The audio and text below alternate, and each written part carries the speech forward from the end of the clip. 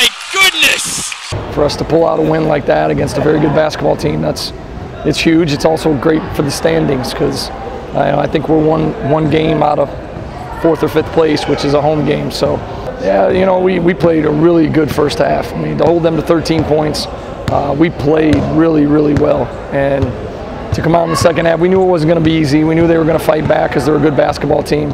Um, but, you know, I didn't think it was going to be that close. I was hoping that we would come out in the second half, play as well as we did offensively and defensively. You know, Dave Campbell, big putback, guarding a 6'8 guy the last overtime pretty much. Xavier Martin coming in hitting a big three.